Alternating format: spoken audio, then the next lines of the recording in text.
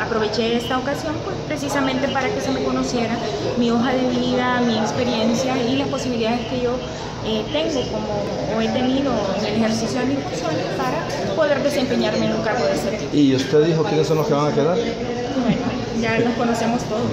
Los nombres. Estresado. Karen, eh, ¿qué fue lo más difícil de este proceso? Porque usted ya salió prácticamente de él.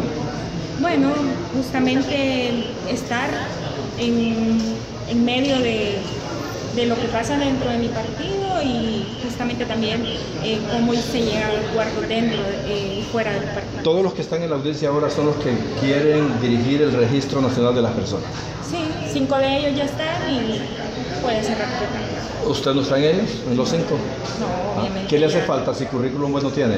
Bueno, eh, por eso le digo que esta fue una buena ocasión para poder eh, dar a demostrar cuál es mi hoja de vida, ¿verdad? Y, eh, embargo, de antemano ya sabemos los resultados. Pero demos a conocer su hoja de vida, sí.